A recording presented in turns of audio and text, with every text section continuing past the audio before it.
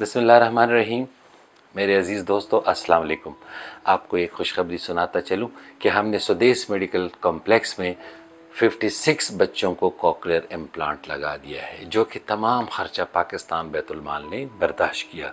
और ये सारा क्रेडिट डॉक्टर मकबूल बलोच को जाता है, जो कि पाकिस्तान के सबसे बड़े कॉकलियर इम्प्लांट सर्जन है। कॉकलियर इम्प्लांट होता क्या है? ये उन बच्चों को लगाया जाता है, जो पैदाइशी तौर पर बोल और सुन नहीं सकते।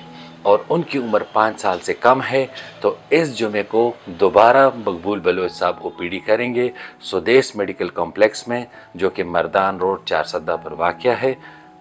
वहाँ आप अपने बच्चे को चार बजे लाना ना भूलिएगा। हमारी ये आवाज़ उन लोगों तक भी पहुँचाएँ जिनके बच्चे इस महरूमी का शिकार हैं। आप इसको शेयर करें, आप अपने दोस्तों रिश्तेदारों को भी इतला दें। और इस पैगाम को आगे बढ़ाएँ, ताकि जो लोग भी इस तरह की महरूमी का शिकार है, उन तक हमारी आवाज़ पहुंचाई जा सके। जजाकल्ला